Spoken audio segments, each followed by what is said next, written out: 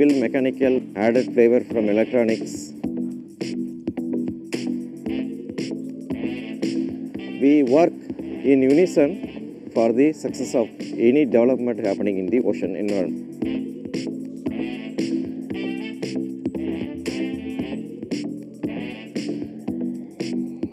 We are the technical arm for the Ministry of Shipping for all port related activities.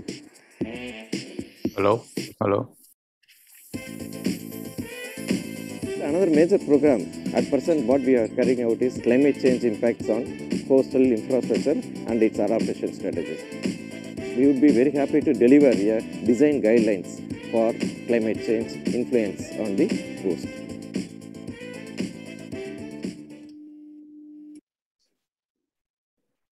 The global workforce has always seen a significant presence of Indian students and scholarship. This reflects the rich and robust Indian education system, which is deeply rooted in value based, diverse, and inclusive ethos, while being truly global in vision in its cutting edge research, innovation, and entrepreneurship. Destination South India is a step taken by IIT Madras together with the US Consulate Chennai in partnership with USIEF, Forum on Education Abroad, and USA Study Abroad to build a program to engage and enable academic institutions and NGOs to welcome foreign, especially US students in the Indian educational ecosystem. This is an effort that will go towards uh, uh, the idea of uh, national education policy, where we are hoping to increase the diversity in our campuses. In this workshop, we want to help Indian institutions prepare to host U.S. students and to partner with U.S. universities. We also want to help American students understand that South India offers a fantastic academic and cultural experience.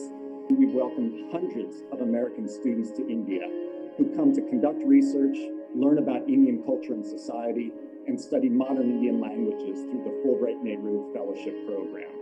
I believe there's huge potential in India for expanding study abroad and exchange programs. To facilitate this, we need to bring about a better understanding between US and Indian institutions of higher education on how to design and deliver study abroad programs. We're a membership association that provides training and resources to education abroad professionals around the world. I'm looking forward to working with workshop participants to build capacity in India to host students from U.S. universities on education abroad programs. Register today to be a part of this collaboration and conversation.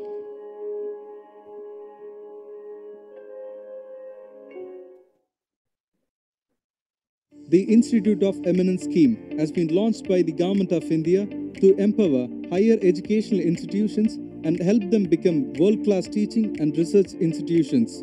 IIT Madras is proud to have been selected as one of the select institutes of excellence. As part of our commitment to the cause of fostering world class research, IIT Madras has set up a number of research initiatives in diverse fields of contemporary relevance. Many of these initiatives will go on to become centers of excellence within the IIT Madras system. A total of 68 research initiatives belonging to 21 identified technology clusters are presently underway. As part of these initiatives, it is proposed to host a series of webinars from each cluster to showcase the innovative research being generated to various stakeholders like researchers, industrialists, and policymakers. These webinars will give an opportunity to engage in conversation with eminent faculty from IIT Madras and other international researchers and also to find more collaboration in those research areas. So why wait? Click the link below to be a part of this. The greenery, the people around, the facilities that we have, it is one of the best places to live in Chennai.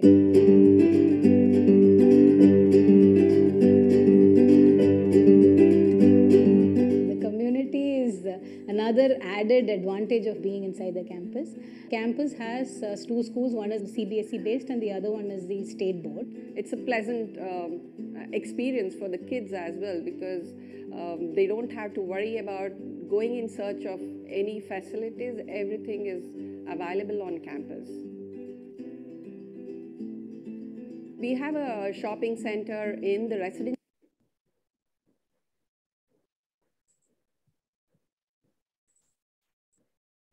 Hello and good day to everyone.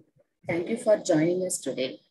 Uh, this is Lisa from the Office of Global Engagement, and it's my pleasure to welcome you to the 66th webinar from the IRIS webinar series.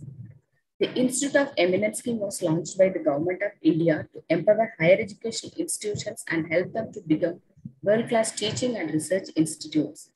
IIT Madras is proud to have been selected as one such Institute of Eminence. A total of 68 research initiatives belonging to 21 identified technological clusters are presently underway at IIT Madras. As part of these initiatives, the IRIS webinar series aim to showcase the innovative research being generated to various stakeholders like students, researchers, industrialists, and policymakers. From the microelectronics and integrated circuit cluster, the research initiative presented today is titled RF Analog and Mixed Signal Integrated Circuits, which is led by Professor Shanti Pavan and Professor Nagendra Krishnapura. Professor Shanti Pavan obtained his BTech from the Indian Institute of Technology Madras and PhD from Columbia University, New York. He has worked as an analog design engineer at Texas Instruments, Fairchild Semiconductors, and analog device in the USA and Canada. He is currently Alexander Chair Professor at the Indian Institute of Technology Madras.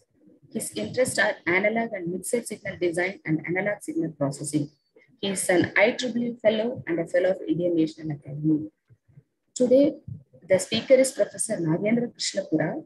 He obtained his BTech from the Indian Institute of Technology Madras and PhD from Columbia University, New York. He has worked as an analog designer in Celight, in Multilink, and Vitesse Semiconductor in the USA. He has taught analog circuit design courses at Columbia University, New York, USA as an adjunct faculty. He is currently a professor at the Indian Institute of Technology, Madras. His interests are analog and RF circuit design and analog signal processing. Professor Mike Chen has joined as a moderator today, and he is currently a professor at the Electronic Engineering Department, USC, and holds Colleen and Roberto Padovani Early Chair, Early Career Chair position.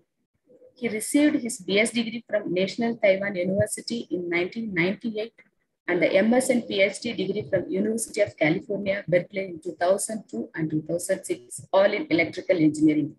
As a graduate student researcher, he proposed and demonstrated the first asynchronous SAR ADC architecture, which has been adapted today for low power, high speed, analog to digital conversion products in the industry.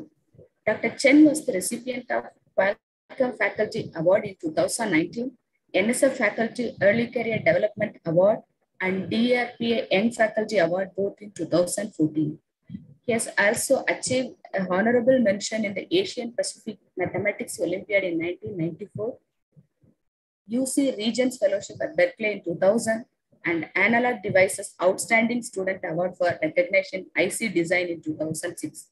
Dr. Chen has been serving as an associate editor for IEEE Solid State Circuit Letters, IEEE Transaction on Circuits and Systems to Express Briefs, as well as TPC member of conferences in IEEE Solid State Circuit Society, such as IEEE International Solid State Circuit Conferences, IEEE VLSI Circuit Symposium, and IEEE Custom Integrated Circuit Conference.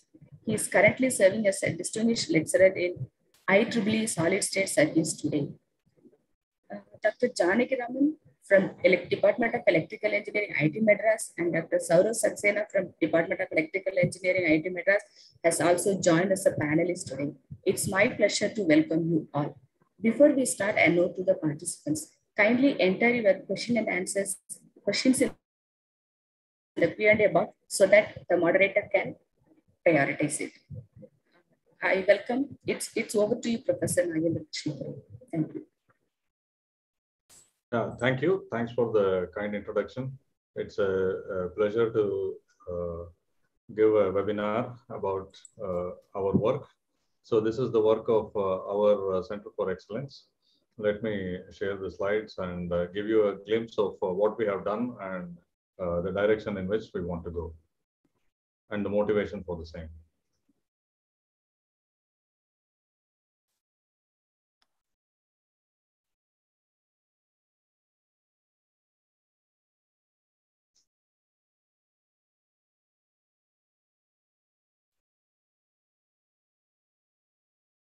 Yeah. So there are four of us uh, who are introduced, the Shanti Pavan, Saurabh Saxena, Janakiraman, and myself, uh, who are uh, the faculty working under uh, working for the Center of Excellence in RF Analog and Signal Integrated Circuits. Shanti Pavan, uh, Janaki Raman, uh, Shanti Pavan works on uh, analog circuits, uh, mainly ADCs and DACs, and also precision analog and mixed signal circuits. Janaki Raman works on uh, neural networks, hardware accelerator for neural networks in memory computing, and so on. Uh, Saurabh works on high-speed serial links, uh, phase lock loops, uh, frequency synthesizers, and I work on analog and mixed signal uh, circuits, RF circuits, and also frequency synthesizers. Now, uh, this uh, slide gives a, a brief motivation uh, for our work. Today, I think all of you are aware that computing and communication are everywhere. Here, a few examples are shown from very large systems like the supercomputer and the data center to uh, handheld devices, laptops, and so on. Uh, what is common to all this is the compu computation and communication is at the heart of all these things. Now, while computation and communications are common themes, the constraints may be uh, somewhat different in each case. So in portable devices, especially in handheld devices, the emphasis is on low power. And when you do have computation, it's uh, uh, spending as little energy uh, in each computation. And also for communication, it's to spend as little energy in communicating each bit. Now, low power is also important for the supercomputers and data centers and so on. But of course, they are not running on batteries. So there, the emphasis is on very high performance and very high speed data transmission. Some of you who are related to the area know that uh, transmission on wires have exceeded 100 gigabits per second recently and probably will exceed 200 gigabits per second also. So now, uh, where does our work fit in? We are, of course, not making these gadgets or data centers and so on. So our expertise falls uh, in the key building blocks of uh, these types of devices. And each of us has uh, uh, taken it upon ourselves to uh, improve the state of the art of these devices. So this uh, shows a block diagrammatically a link between communication and computing. And within communication, you know that uh, we have uh, wireless communication, which uh, could be in the form of uh, cellular communication or Bluetooth or Wi-Fi. All of you probably have this, and many of you have connected to this seminar using this. Similarly, there is what is known as wireline communication, which uh, in which you communicate through links, broadband channels, which could be Ethernet, USB, and I said wires, but this also includes optical links, which are used for very high-speed communication. And within computing, you have the conventional DSP as well as machine learning, which is uh, up and coming and is expected to play a very, very important role in the future. Now, while these all these things look different, I will show block diagrams of uh, wireless and wireline communications and show that there are a number of uh, common blocks, especially analog blocks. And interestingly, uh, machine learning, while it looks like uh, uh, something digital is being done because I put it under the communications block, has a number of uh, analog computation, has a number of features in it, which makes analog computation an attractive option. So Professor Janaki Raman is working on this. Basically, he's working on optimized in-memory computing using uh, uh, memory cells. Basically, yeah. So what happens in a memory is uh, shown here. This is the conventional memory. Now, this in-memory computing is especially suited for uh, machine learning. And as I mentioned, in handheld devices, uh, it is most important to use as little energy in computation as possible. That is, uh, I'll give a very, very uh, brief overview of this. The way the computation is done in this uh, memory is by uh, driving different voltages on the word lines as shown here. And then when you uh, combine all of them on the bit line, some voltage is formed, which is a linear combination of the voltages that you drive. That linear combination, that is the computation you have to sense that voltage and that is done using A to D converters. And you, now you can see you have a large number of these uh, A to D converters here. Now these numbers can be in thousands or even more, right? So it turns out that if you try to make very precise A to D converters in each of these places, either the power consumption or the area or both will become exceedingly large. So what Professor Janki Raman is working on is a way of reducing the size and complexity of this part while computing in the same way as possible. So the idea that is being exploited is that uh, what is being computed, uh, the thing that on which you do the computation is some image data. Now, once the image is given, it turns out that these voltages span a very small range. So what uh, he has proposed is to use a single ADC that has a very high precision to find out which range the values are in, and then use very crude ADCs and a smaller number of them around that range. This is something like uh, if you, uh, let's say you didn't know uh, where the voltage lay, then you had to search all the way from uh, all the way over the entire range of the uh, voltages that are possible. But if you know that, let's say voltages are always between, uh, voltages are between 500 and 600 millivolts, then you have to only search over that small range. So that's the idea is exploiting to make this uh, entire, uh, reduce the complexity of that. And he's uh, working on that. Some of the early work has been reported in this paper and also has been patented. So this is the prototype chip. So the one feature of our work is that we uh, demonstrate our work on uh, prototype chips, and that's what makes the work very interesting as well as challenging. Now,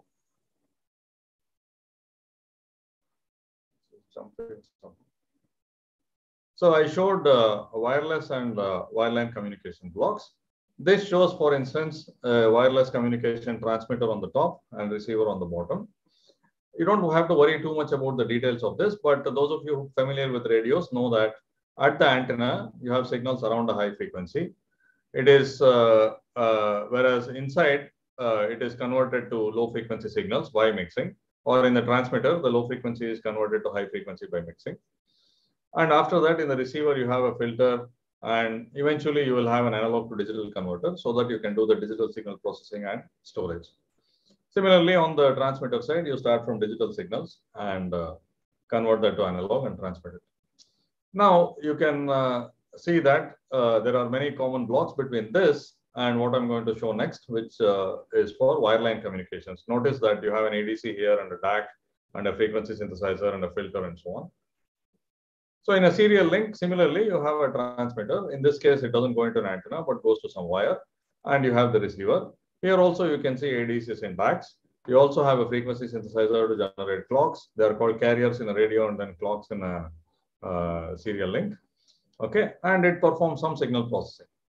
Okay, so one of the very crucial building blocks of any modern system is an analog to digital converter. This is true even, even in so-called purely digital systems. You have ADC, ADCs used for a number of different functions.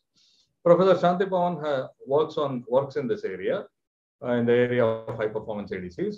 He has uh, published a number of uh, papers uh, detailing uh, many techniques for high performance ADCs.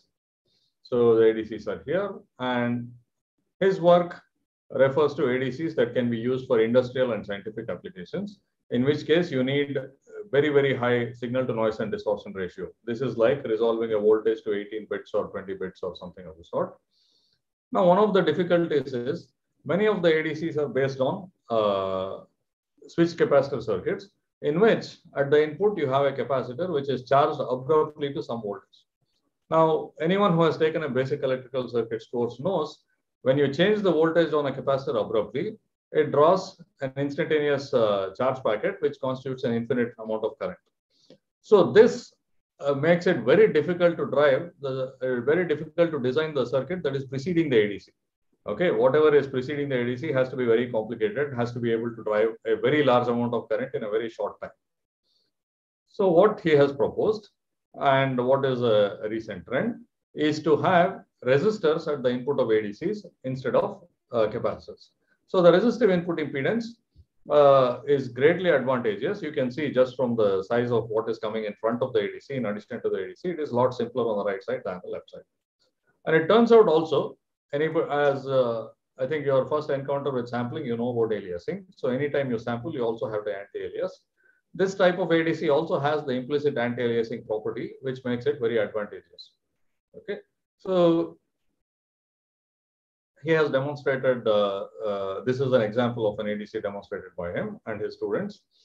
So in this case, I'll only highlight this uh, spectrum to show that this is the fundamental. And the second harmonic and third harmonic are well below 100 dB, below the fundamental. Okay. So this constitutes a very, very high precision. Okay. So this means that if uh, basically uh, if the, the fundamental is one volt in amplitude, the harmonics are uh, of the order of 10 microvolts or so, or even less than that. Okay, maybe three microvolts or something of the sort. So this uh, level of high precision ADCs needs very meticulous design, which has been done, uh, and you can see the chip photograph on the right side. And you can also see that it performs, this uh, graph shows uh, uh, performance metrics if you are on the top left of this graph, it means it is highest uh, performing. So you can see that basically uh, the noise spectral density of this uh, uh ADC is much lower than other published work. And another up and coming uh, technique uh, is this high speed pipeline ADCs. This can be used in very wideband radios, multi-channel radios to basically convert a very wide bandwidth of uh, analog signals to digital. So here again, uh, the continuous time delta sigma ADC advantages also apply. The input is resistive and uh, uh that gives you an advantage in uh, power dissipation as well as in resolution. Okay, so it is easier to drive. Uh, it's a lot easier to make than circuits that use switch capacitor ADCs. Now another common block is this frequency synthesizer. They generate carriers in radios or clocks in uh, uh, serial links. They're also used even with ADCs to generate clocks. These clock generators are very common. Again, as I said, this is one of the blocks that is there in purely digital circuit. If you take a processor or a memory, which you would think of as a purely digital IC, it will have a frequency synthesizer. Professor uh, Saurabh Saxena is a specialist in this area and he works on this. And one of the uh, things he is working on is to have a precise uh, frequency, the clocks, uh, the way you generate clocks is by taking quartz crystal oscillators. Quartz crystals oscillators have a very precise frequency which does not change significantly with temperature. It is related to material properties of quartz. But they operate at a low frequency. So for them to be used in uh, modern high-speed systems, they have to be multiplied up to a very high frequency. So one of the recent things he has proposed is a two-stage uh, clock multiplier that uh, can be varied over a wide range, whose output frequency can be varied over a wide range, which is compact because it does not use any uh, on-chip inductors and so on, and has a very uh, well-behaved spectrum, meaning the spectrum of an ideal periodic uh, source should be an impulse. Usually you see noise and other impulses in addition. The smaller they are, the better it is. And this, for instance, shows that uh, the spurious tones are substantially below the fundamental frequency. It basically represents a clean spectrum, which uh, means that it is close to being periodic.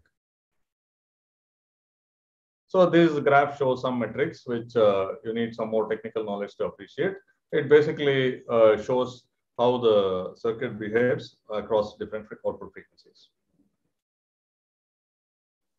Now, one of the other things that uh, we work on, in this case, this is my work, is on widely tunable active delay lines. Now, this is uh, related to uh, how antennas are configured in modern systems. You have multiple antennas and you combine the signals from multiple antennas. Now, the only issue is the wave can be coming in from any direction. So the waves hitting the different antennas arrive at different times. So you have to compensate them by inserting delay lines in each of these paths. If you have a very large antenna array, you can imagine that you need a very large delay and also widely tunable delay because if the beam comes in from another direction to steer it, you will need a large delay on this one and no delay on that one. So what uh, I and my students have come up with is a technique uh, for broadband delay lines using active elements. And it is related to, I think all of you again from the basics know that a transmission line generates a delay.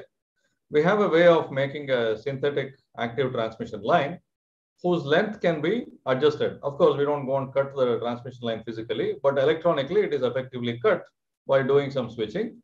And uh, consequently, we can uh, control the delay of the transmission line. So this uh, shows a demonstration where the delay has been varied and you can see that the input pulse shown in black is delayed by various amounts. Okay. So that gives you a glimpse of uh, uh, our work. I think for some reason the slides are jumping. just give me a moment.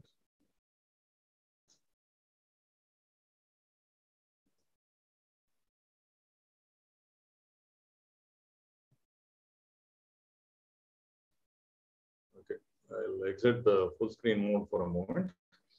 So that gives you a glim uh, glimpse into our group's work. Our group has uh, more than uh, 50 research students, and it is the by far the leading uh, academic group uh, in India working in uh, analog mixed signal IC design. And we regularly fabricate chips and measure them and publish their results. We have measured like more than 100 chips now. In fact, we have sort of stopped counting. And we are also the first academic group to uh, publish papers in uh, the leading venues in uh, Indian academia. I think I need to exit the full screen mode because the slide seems to be jumping around. And uh, this is the leading venue for dissemination of work on IC design. And if you look at this, uh, more than 80% of all the papers published in the IEEE Journal of Solid State Circuits from India have been from our group. And similarly, the IEEE Transactions on Circuits and Systems is uh, the top venue for disseminating work on circuit theory. This is a broad journal that encompasses digital, analog, and other uh, some uh, aspects of control, DSP, and so on. Here also, we uh, you notice that we are the single largest group publishing so this basically testifies to the strength of our group and the technical strength of our Center of Excellence.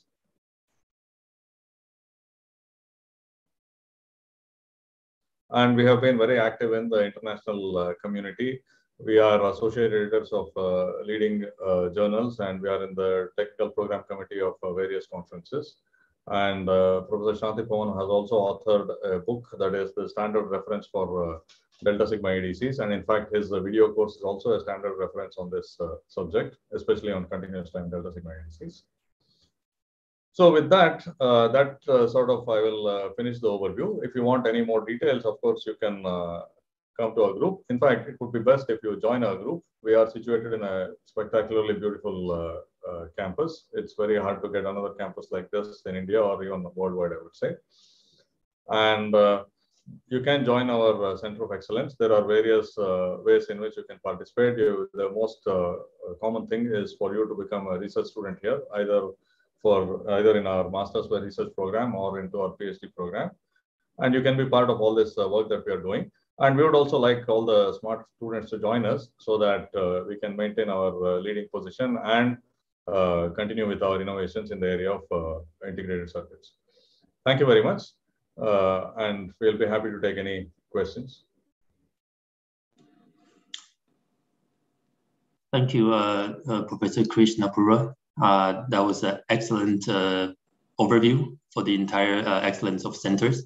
so before I, you know, start asking questions, I just want to say a few things. You know, I think me being in the field, I can assure you that you know they do have world-class, you know, researchers, you know, in this department. You know, uh, you know, you look at the work that they have produced, you know, as uh, you know, Professor Krishnapura just point out, you know, they consistent, consistently publish in those uh, premier uh, conferences and journals. And those are the papers actually, you know, people outside the world, actually outside outside this, uh, you know, department actually all read them right carefully. So, uh, so that I think speak to the quality. And I see that you know you are adding also new blood, you know, to the uh, to the department, to this group, and I think that's uh, really exciting. So uh, I guess I think uh, the audience actually already start asking questions, and, and I think that you know people seems to be very excited, you know, you know, with the opportunity that that you guys provided. but let me maybe first, you know, ask a very high level questions. Um, as you point out, you know, the future, you know, you know has a lot of challenging. It's really exciting time for the electronics, right? More speed, more bandwidth. You know, I, I was wondering. Um, uh, there are certainly you know many many different aspects. So let me uh, go one by one. So for the communication, uh, what do you think is the most you know challenging you know part? You know, obviously you guys you know really can do every component you know through the chain. Uh, what are the most you know challenging aspect that you think that we should solve you know in the next five ten years? And, and that's not that you know obviously will provide opportunity for these uh, potential students to join your department and uh, or collaborate you know with your department uh, to move forward. So I guess uh, I was wondering if you can please comment on you know what, what are the challenging aspects you know in terms of communication in the next five ten years? And that's you know something that you know we as a research uh, researchers that can really uh, take on. Yeah uh, so let me take a stab at it. So as you well know uh, in serial links the speeds have been increasing like crazy pretty much. It's now at 112 gigabits per second 224 and so on. Now uh, of course that is very challenging. Uh, one of the at the same time i mean in academic uh, groups there is also a limitation on uh, uh, what you can work on. So one of the key building blocks for all such is a very low uh, jitter clock generator. And the jitter has been reducing down to like 100 femtoseconds and below that so i think basically making better and better clock generators essentially to get better timing reference so that you can time everything more precisely that is one of the challenges and of course, the other uh, technical challenge comes from uh, technology. That is, you have to work with uh, these lower voltages. It gives you high speed, but uh, that itself is challenging. I think others also can perhaps comment on this aspect.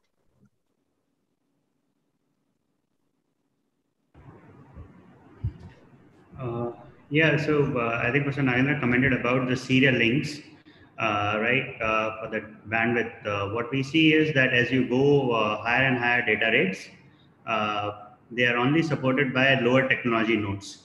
So, and we cannot, we do not have access to them uh, to work. So what we would like to do is uh, that in the available technology node, we would like to increase the data rate and or reduce the energy consumption as low as possible.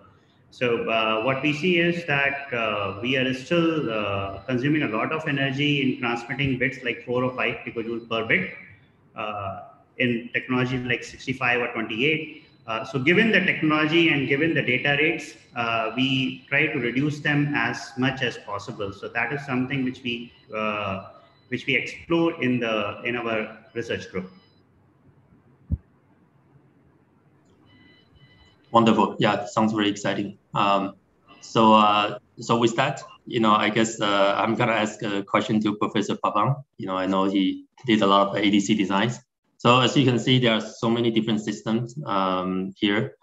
Um, so what what do you think is the, the, the future of this ADC? What was the trend of the ADC? You know, in light of all those you know communications you know challenges as well as you know uh, the computation, right? Even the computation now, I see the ADC there.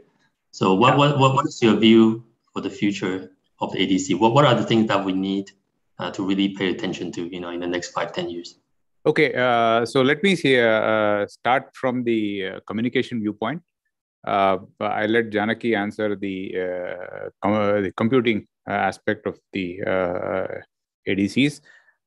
so, you know, if you actually go and take a look at at the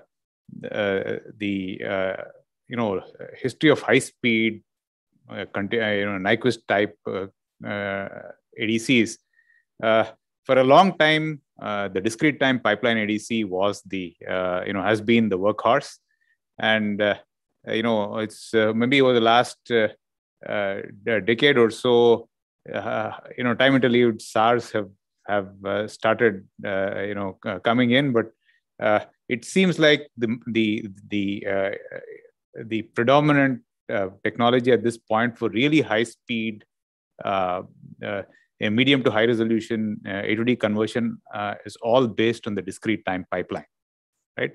And uh, if you look at the, if you go back over the last 50 years and look at how circuit design evolved, first, you know, there was a big uh, amount of uh, a large amount of interest and a lot of work in uh, switch capacitor circuits. So when MOS first started, uh, uh, you know, uh, switch capacitor circuits were invented. and uh, you can see a lot of activity in switch capacitor filters. And then, you know, about in the mid 80s or so, uh, people, uh, you know, started moving to continuous time filters. Uh, and the activity in switch capacitor filters uh, simply uh, just went down. and, you know, and all the filters, which were the main signal processing aspects at that time, all moved to continuous time. Then we fast forward to the ADC space. And then, you know, in the early 90s, all the ADCs uh, were based on, uh, you know, uh, I mean, a lot of the ADCs, especially precision ADCs, uh, were all based on uh, discrete time delta sigma techniques, right? And uh, again, fast forward another 10 years, and people have pretty much forgot had forgotten about discrete time delta sigma ADCs and moved continuous time, right? the, the only forte of, uh, of discrete time circuits at this point seems to be uh, in high speed A to D conversion seems to be the discrete time pipeline. And, uh, uh you know, I believe that going forward in the next 10 years for, uh, for all the advantages that there are, I think the continuous time pipeline is going to replace the discrete time pipeline, uh, like how continuous time delta sigmas have and continuous time filters have replaced discrete their discrete time uh, counterparts. Uh, uh, continuous time pipelines are are uh, really low power. they can be extremely low noise when compared to a combination of an explicit anti-alias filter and a discrete time pipeline, and they're they're easy to drive because there's no there's no large capacitor to uh, i mean uh, to drive uh, of course, there are challenges, but uh, most of the challenges seem to be in the digital domain. And uh, so when you compare it with a solution having a filter, an anti-alias filter, and an ADC, a continuous time pipeline is is uh, is uh, smaller, it's lower power, uh, uh, it's it's easier to design, and a lot of the complexity has moved from the analog domain to the digital domain. Right, this is exactly where technology is going and uh, uh, you know i'm personally betting a lot on uh, seeing these converters basically uh, uh, uh, make a big impact especially in applications like you know 5g and you know and higher where you have to build you know arrays of of transceivers. So you have a lot of data converters on the chip.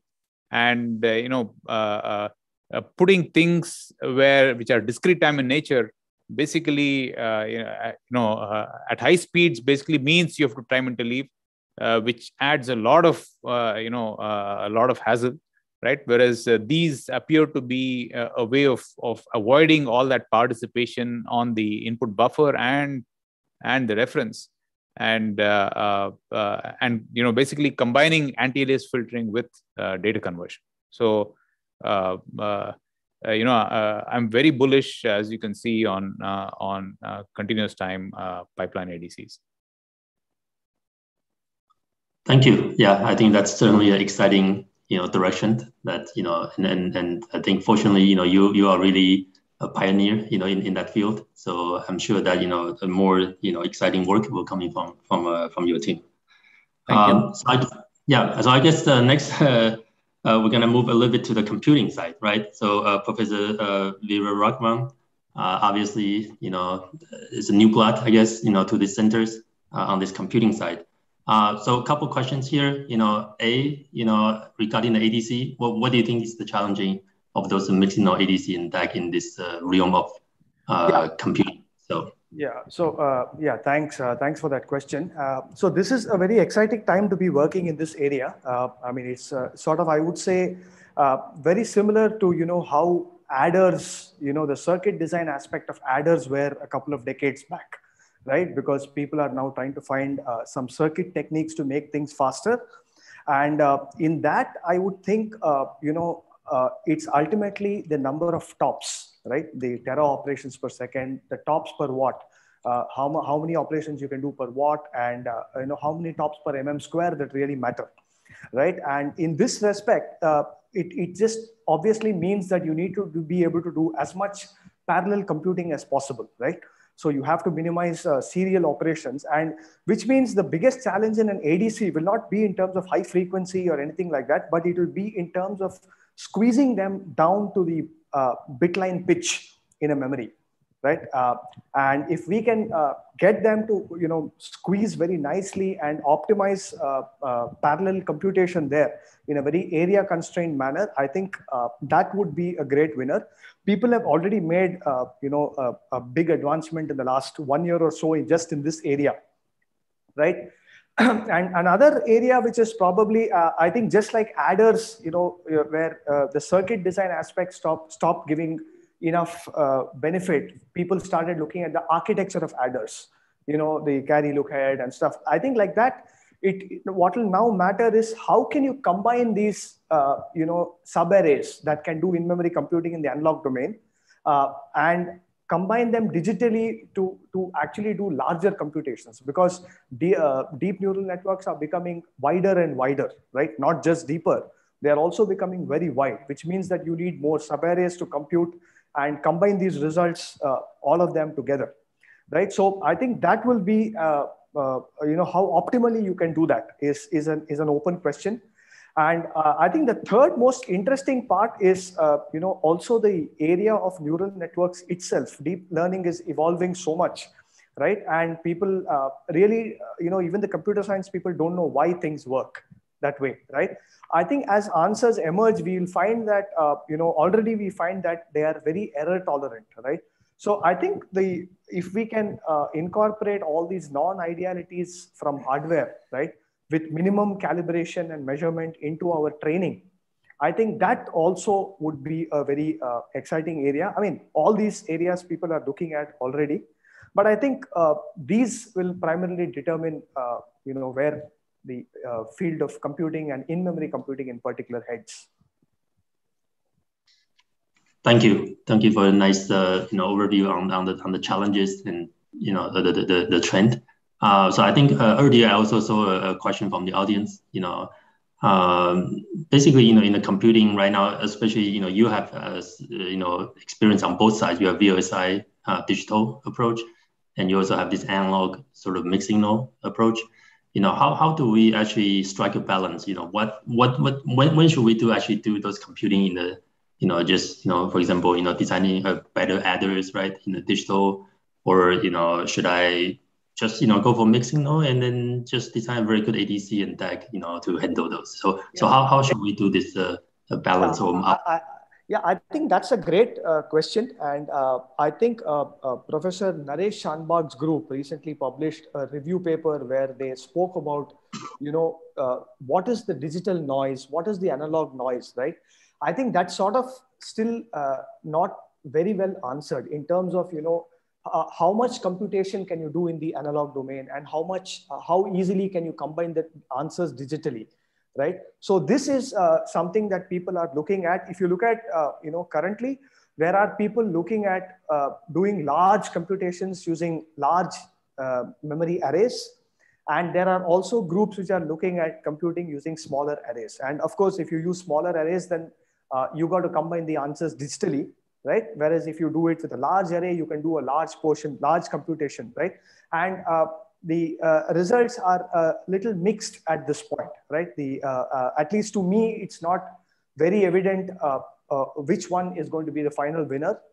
And, uh, but people are exploring and it, it's nice to see that some groups have published, you know, up to over one tera operations per second and, you know, great results with large subarrays as well. Thank you. Thank you. Yeah, I, I know this is a tough question. So yeah. Uh, so hopefully, you know, we'll, we'll, see more, you know, exciting, you know, work and you know analysis from your group also, you know, in the future. Um, Definitely, yeah. Thank you. Very good. Uh, so next, I have a general question, I guess, for everyone. Uh, I think, you know, in the beginning, I know that uh, Professor Krishnapura showed us a slide, right, showing us communication, uh, computing, and uh, DSP and machine learning, right? So this AI machine learning seems to be one of the hot topic, you know, not just in computer science these days, but also in double E, right?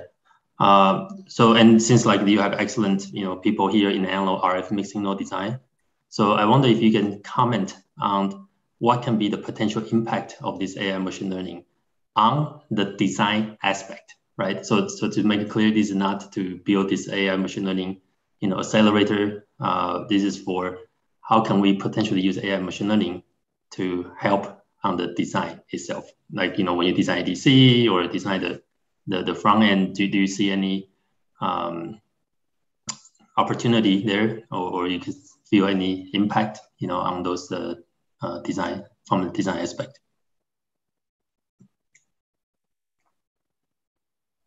Uh, yeah. So uh, do I take that question?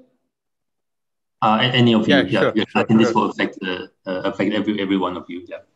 Yeah, yeah, uh, yeah, uh, yeah. I mean, actually, uh, my answer I had already uh, summarized, right? In terms of, uh, so if I understand the question, it's it's it's about the impact on design, is it? Uh, can you- Yes, the, the circuit design. So when you design the PLL, design the ADC, design the filter, right? Design, uh, yeah, a lot of exciting project that you guys have uh, in the department. Do you think that you know there's anything that it can help? Like you know, for example, I think uh, uh, Professor Pavan mentioned about calibration, right?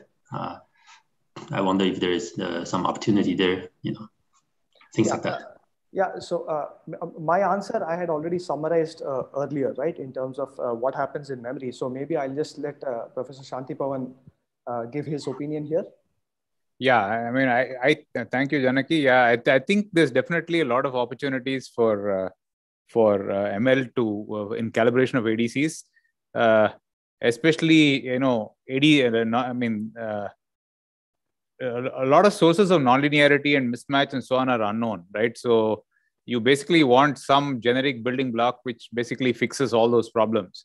So it seems very likely that you know some machine learning engine uh, uh, can be trained to uh, to fix uh, uh, fix you know uh, linearity problems or uh, mismatch problems in an uh, ADC, uh, especially in a production environment you have where you have tons of data, right? And uh, and you can train, right? So, but I still think that you know a more careful approach to root causing these problems and fixing them will probably be a lower power approach.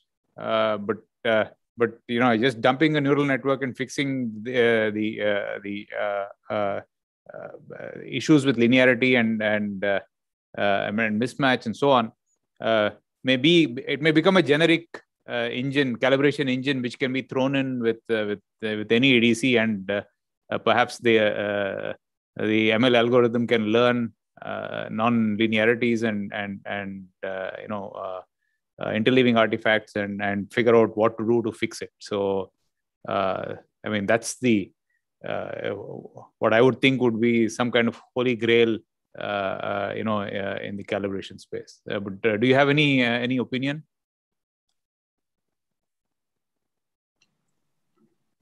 Yeah, I, I agree with you. I think I think uh, you know in a way you know if you think about all this calibration, you know it's actually in nature it is a machine learning, right? Yeah. let this chip to learn what are the non-ideality and how to you know compensate for that, right? So so I guess you know it's just a matter of you know how you know how much you know designer need to step in to identify those sources, or we just blindly let those algorithm to uh, to take uh, take over. So the answer probably will be somewhere in between. Yeah, you know, I I, think yeah. people are trying to find the balance between the two. Yep. Uh, so very exciting, and I'm sure that you know uh, uh, you also have a lot of things coming. I know he also do a lot of RF high frequency. Uh, but before uh, you answer that question, uh, I do see a, a comment in the audience. Uh, they were wondering, you know, whether there's a millimeter wave IC activity in in your center, and I think that's probably important to address that question. Yeah. So the answer to that is yes. There was a, 5G related project, and we have made uh, some millimeter wave ICs. And some of our colleagues outside the one of our colleagues outside this uh, center is also uh, working on that. Yeah. So, for instance, one of the work I did not mention that in detail, but uh, one of my students worked on uh, very high speed, very high frequency uh, oscillator and a frequency synthesizer for millimeter wave radios. It was in the 28 gigahertz band. And uh, again, uh, depending on the, so I'm uh, kind of continuing work on that. So yeah, there is some uh, millimeter wave activity uh, going on at IIT Madras. So just to go back to this uh, business of ML and uh, circuit design. So of course, ML itself could be used for uh, circuit design. Earlier, I guess the, the comments were related to how ML can be used to fix the imperfections in circuits. Now, this also, I feel that maybe uh, what will end up happening is that uh, some of the circuit design tools will get better. It won't be the one extreme where uh, you just press a button and the ML engine goes and designs a circuit for you. But maybe the amount of manual intervention that you have to do will become smaller uh, because uh, maybe uh, the tools will get better. Just like for digital, where initially everything was done by hand and now a lot of the stuff is automated maybe more of the analog stuff also will get automated, or maybe you will get uh, uh, at least to see a glimpse of, uh, I mean, basically explore many alternatives more quickly than if you did everything manually. Because let's say you have two or three different alternatives in mind, maybe it's easy to simulate, but of course, it's if it, uh, all of that is layout sensitive, it becomes too laborious to do the layout for each one of those alternatives and then see how it works. Maybe some of those things can get uh, quicker or better with this uh, ML, maybe you get a uh, you get to know beforehand which one is uh, uh, better, or maybe sometimes I mean I see some papers at least reporting somewhat counterintuitive or some quicker optimization than what a human being could do. But yeah, there is still time to. I mean, we need time to tell because we don't know how much effort went in before training the ML engine, right? So that part is not clear but especially things like uh, optimizing EM structures, inductor structures, and so on, maybe there it will come in more uh, quickly because right now people try out different structures and see which works best. But maybe with this, uh, this can go and explore a whole bunch, I mean, a lot more alternatives than what a human being has a patience for. Right. Yeah, that's uh, exciting. It's still a lot of challenges to, to be designed, especially for the high frequency uh, circuits. Um, so I guess uh, judging from the question from the audience, I think already a lot of people seems to, you know, really enthusiastic about your department, your centers, you know, really want to, you know, uh, join you guys. Um, so, so I think some of the audience actually earlier I saw some question. They they saw that you guys all present this, you know, very complicated uh, analog RF mixed signal circuits, right? And they were wondering from education perspective, you know, how do they actually eventually get there? You know, what what what does the center offer to help them to guide them? You know, ev- eventually, you know, reach to this elite level as, as what you guys are showing. Yeah, uh, I think I answered it, and in fact, one of our alumni also has uh, answered that. So, especially for beginners, we uh, put all our uh, lectures online they are freely accessible to anyone, and a large number of people in India and outside uh, use them. And these lectures include uh, very uh, basic courses as well. Uh, so if you let me maybe share the screen for a brief moment. So if you, I guess, are you able to see the shared screen showing video lectures? So if you go here, there are a number of uh, basic courses which you can start taking on your own. And uh, some of them, the entire course content is online. And I think that's the way to build up your basics.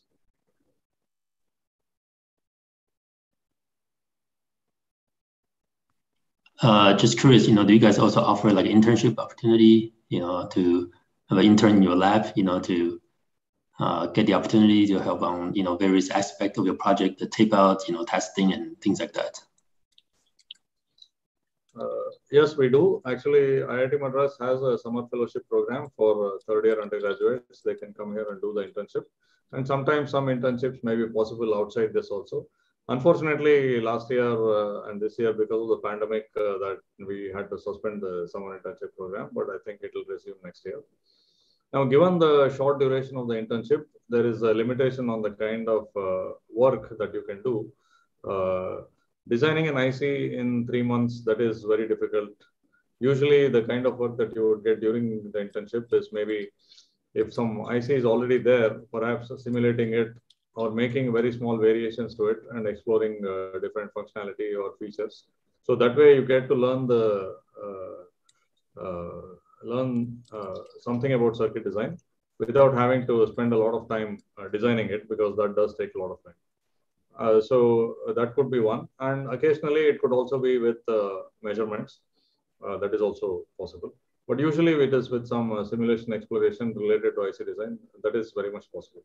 So you can uh, basically look at the IIT Madras homepage around January or so. That is when the summer fellowships are announced and you can apply to them.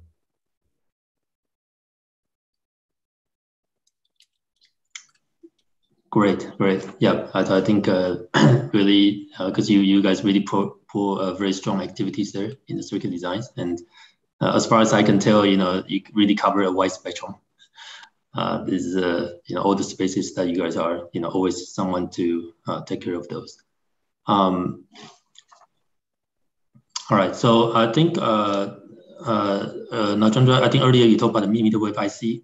um, I think uh, some audience also curious about uh, the challenges. You know, a similar question. You know, what's challenges in the next five, ten years? You know, in this uh, space of uh, really high frequency, you know, circuits. See, actually, millimeter wave ICs have opened up uh, opportunities for transistor level circuit design. I mean, earlier these RF uh, CMOS ICs were in the let's say cellular band and so on. And what was happening was there were circuit innovations for many years, and then after that the systems got very very complicated to a point where basically only industry could uh, work on it. Maybe there is not much innovation at the circuit level, but uh, the challenge was in putting together lots of systems. You know that many chips have multiple radios uh, for different bands, Wi-Fi, Bluetooth, whatnot. Now, this millimeter wave is a very good thing for circuit designers in a way because it opened up opportunities for transistor level circuit design because uh, frequencies became high and it was not clear how whether or how we would uh, uh, make these circuits.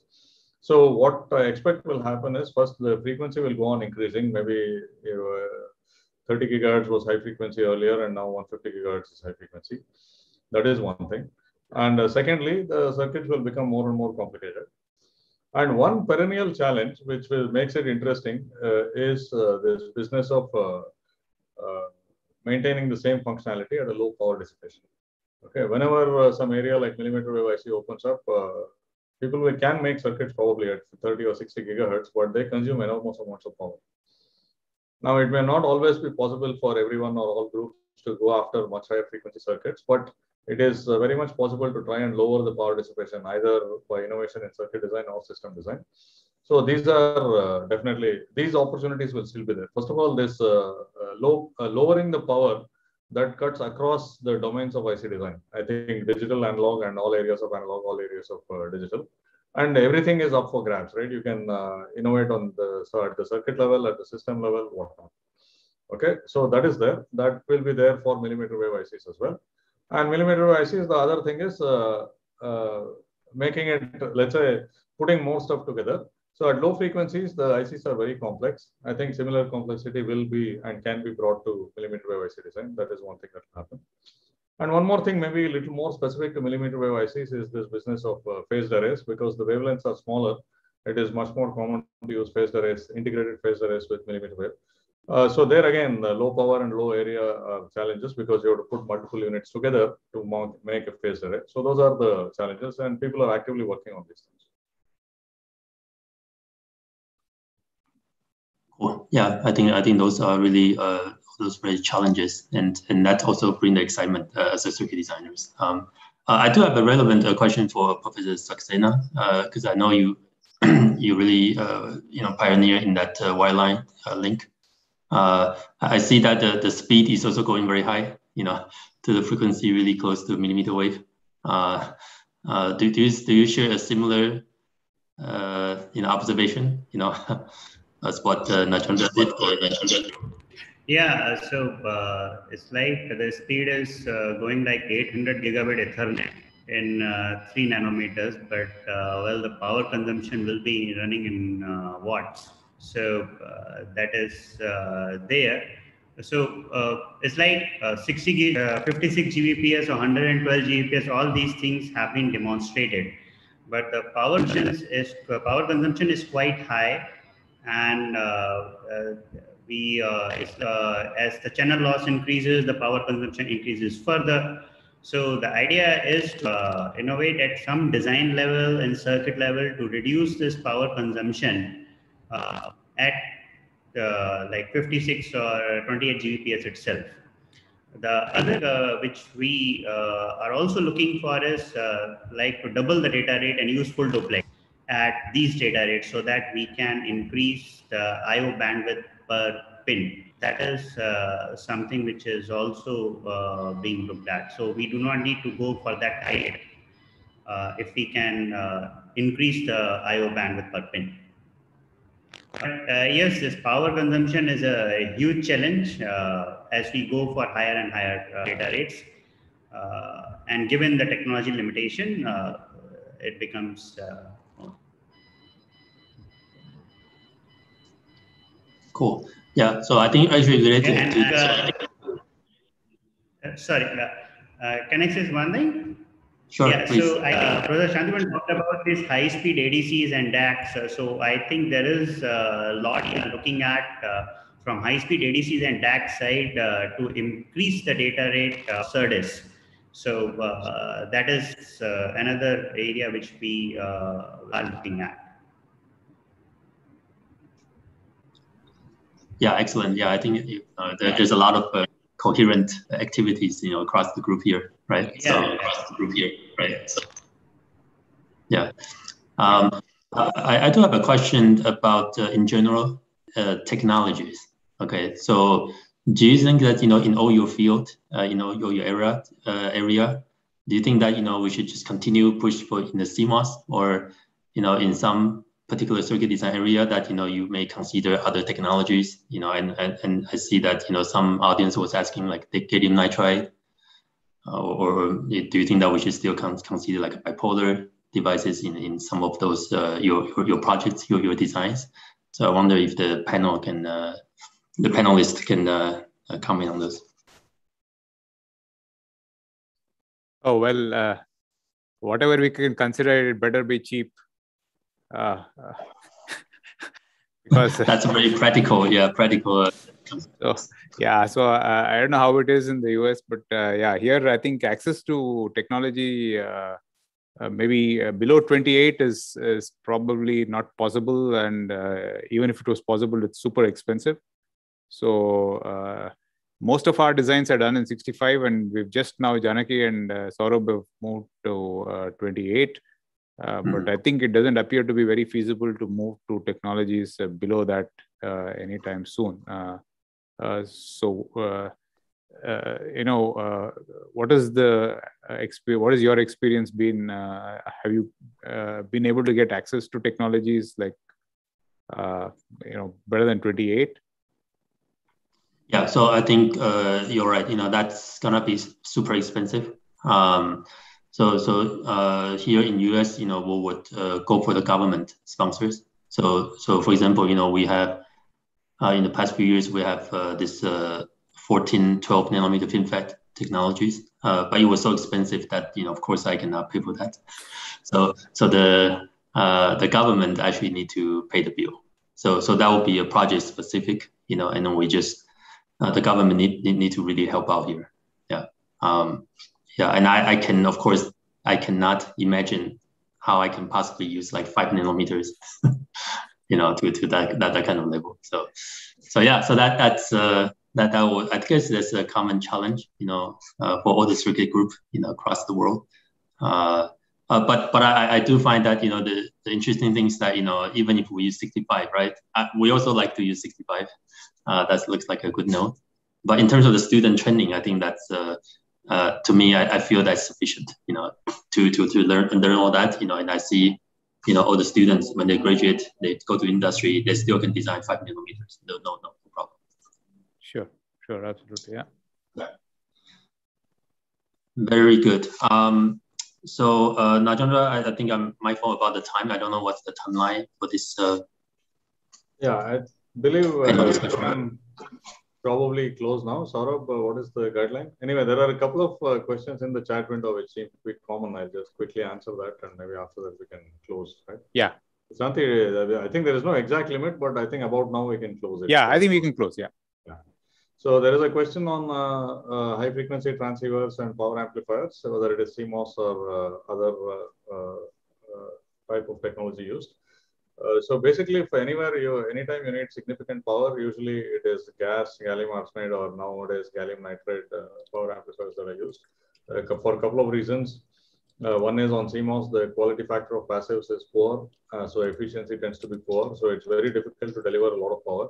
Also because the supply voltages are quite small, whereas these other processes use dedicated process use higher voltage supplies, so it becomes easier to deliver high power.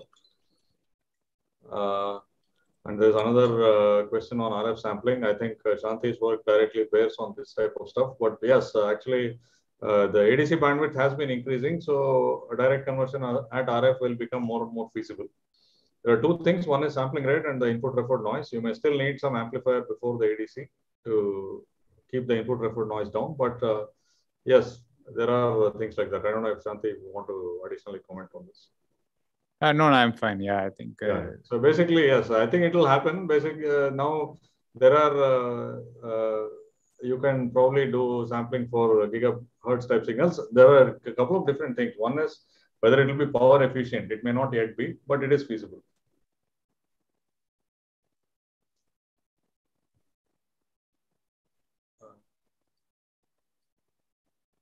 So graphene technologies, it's still far away. So it's not yet at the point where you can do uh, circuit design. There are just experimental devices. Uh, so integrating it is a long way away.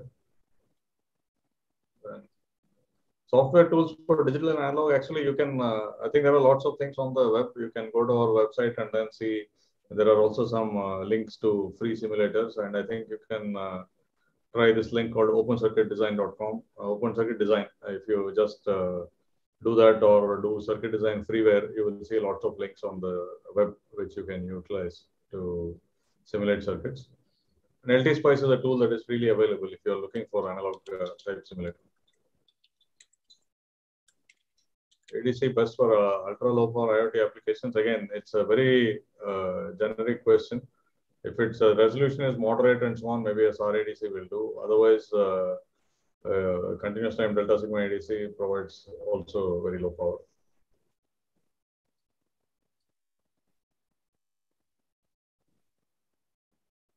Yeah, so this uh, joining us, yes, you can join us with either any with uh, MSc degree. You can you uh, write to us separately regarding application process and so on. So anyone who is interested in joining, uh, I've already given the links and our group page has uh, links to our web pages as well as all our contact information. In fact, the pages themselves have a lot of information on uh, what programs we have and how to join them. Uh, please utilize that. And depending on your specific uh, situation, that is the degree that you have and so on, we'll be able to suggest something.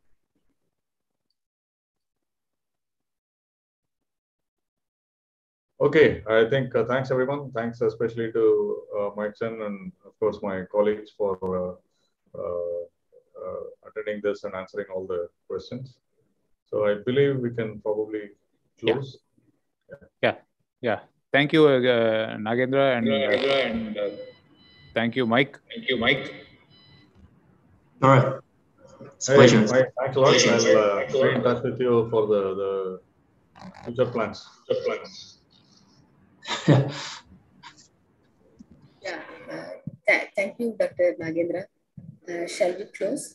Yeah. Yes, we can. Yeah. Yeah. Thank, thank you, you panelists. Yeah. Thank you, participants. Yeah. Thanks, everyone. Bye.